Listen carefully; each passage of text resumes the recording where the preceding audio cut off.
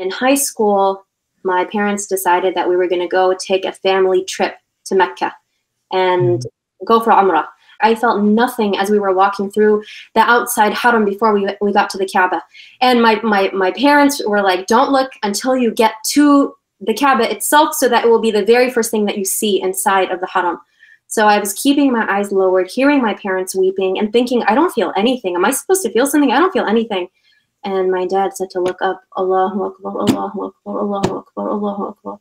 My heart was dead and Allah brought it to life. It was the first time that I actually felt my heart. And I didn't even know that you could feel your heart. It was the first time that I felt my heart and I just immediately I just started bawling and begging Allah to to, to guide me, to forgive me, to, to help me know him.